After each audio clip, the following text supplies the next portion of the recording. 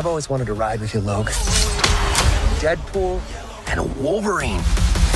Can you imagine the fun? The chaos?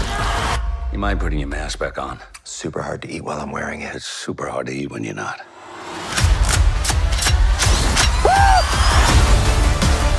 I'm about to lose everything that I've ever cared about. Our entire world needs you. Huh. Paul Rudd finally aged. Shut up. Oh my god.